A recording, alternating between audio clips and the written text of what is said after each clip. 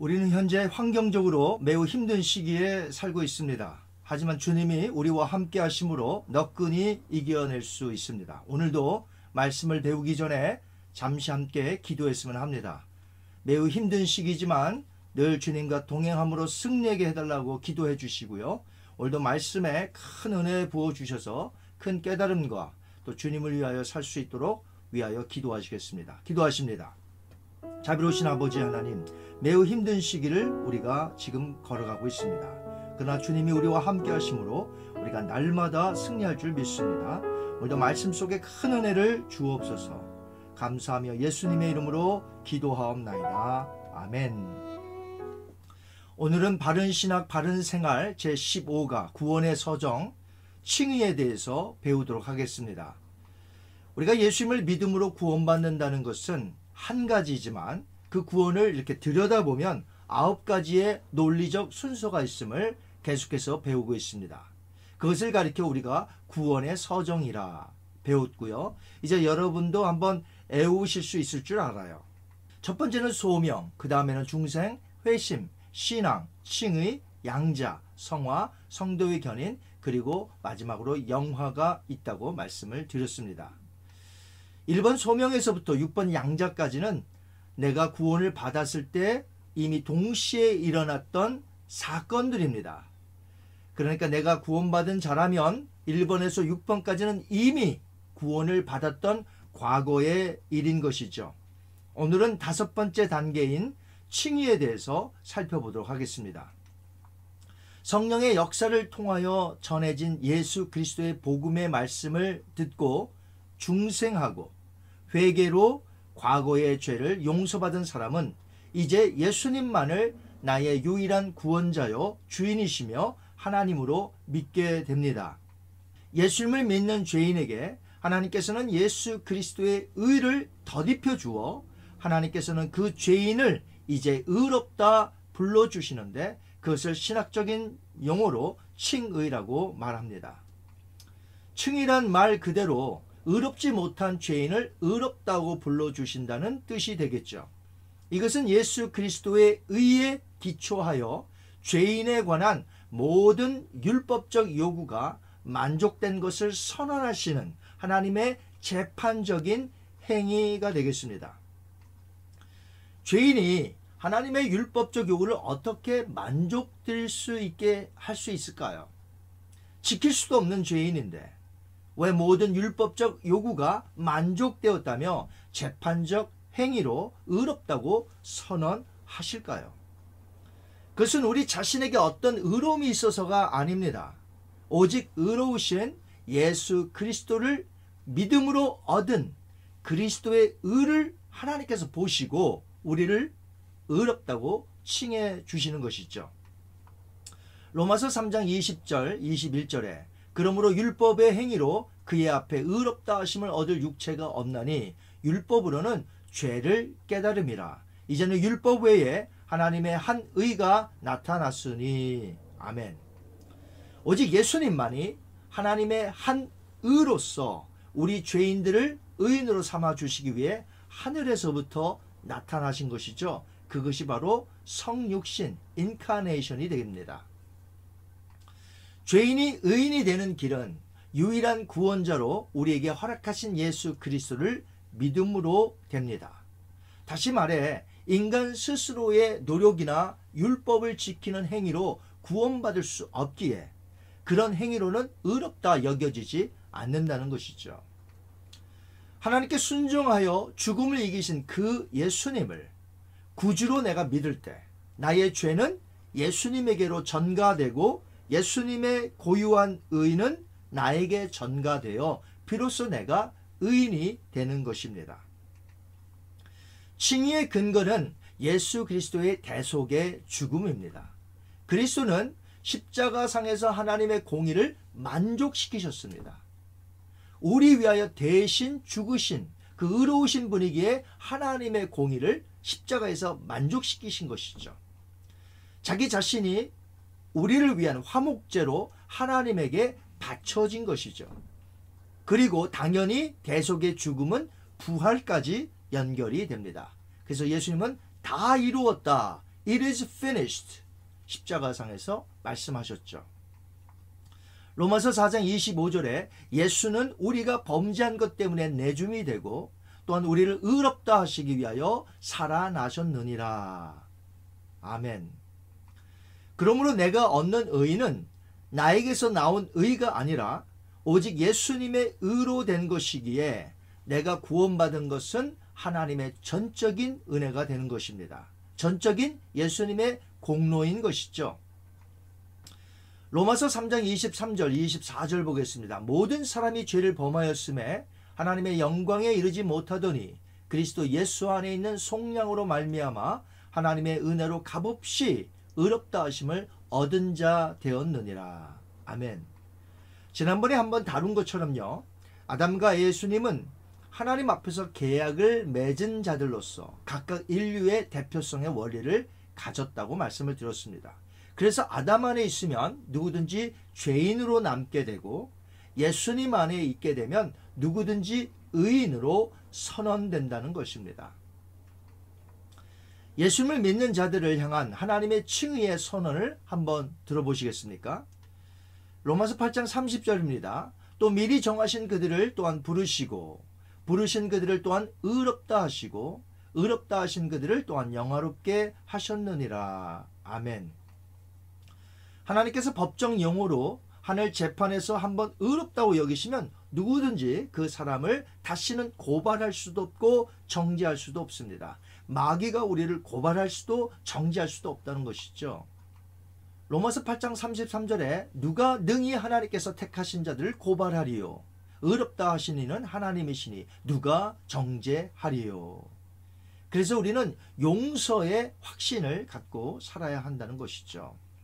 로마서 8장 1절과 2절입니다. 그러므로 이제 그리스도 예수 안에 있는 자에게 결코 정죄함이 없나니 이는 그리스도 예수 안에 있는 생명의 성령의 법이 죄와 사망의 법에서 너를 해방하였습니다. 아멘.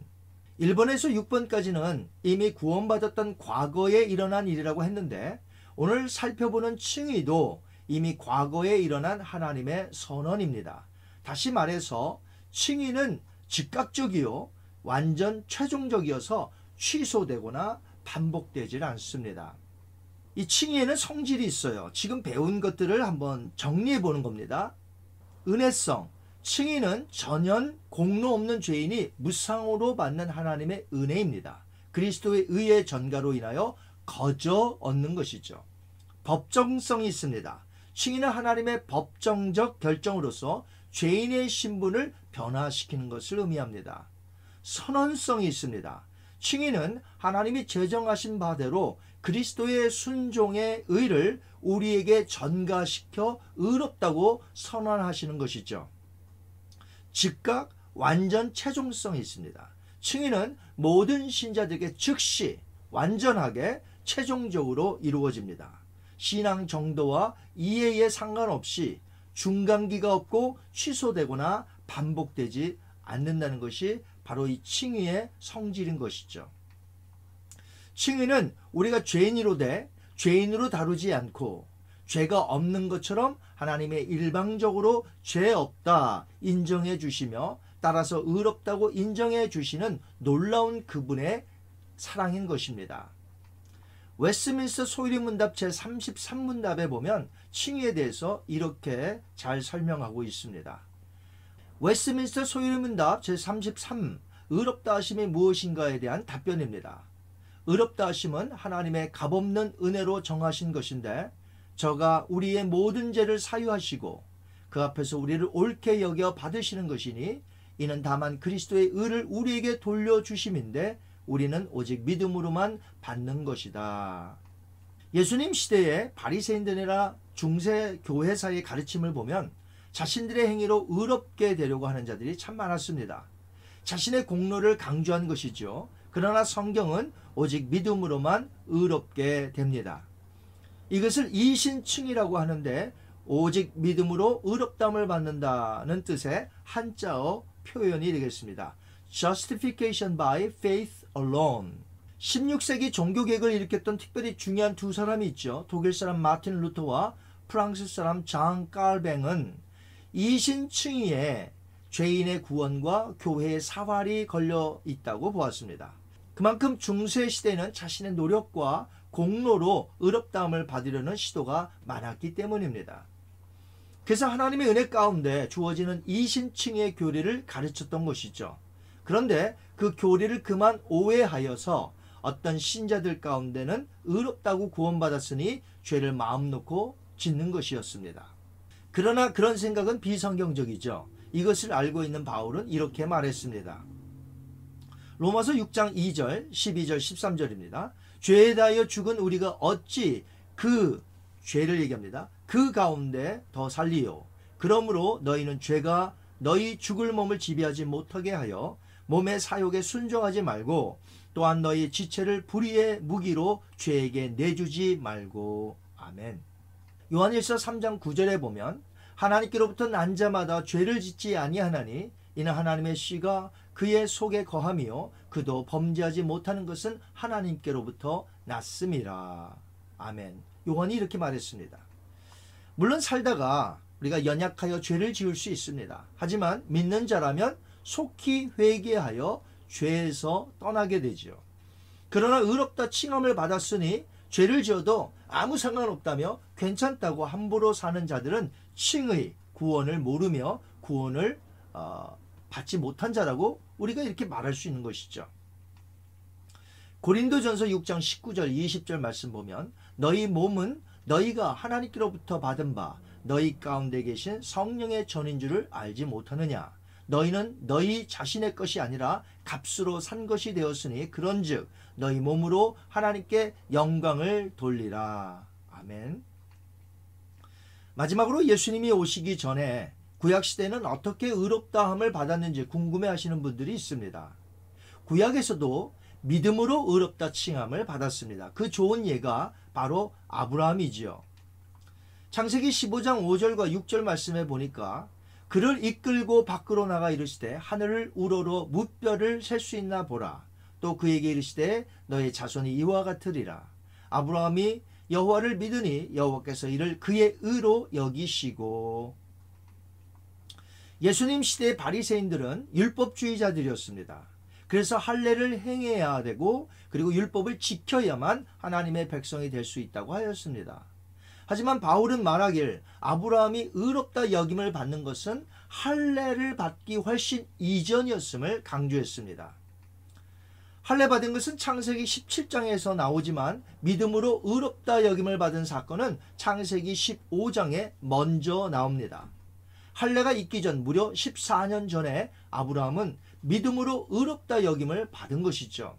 그래서 바울은 이렇게 말했습니다. 로마서 4장 2절과 3절 만일 아브라함이 행위로서 의롭다 하심을 받았으면 자랑할 것이 있으려니와 하나님 앞에서는 없느니라. 성경 가로 열고 창세기 15장을 얘기하는 거죠.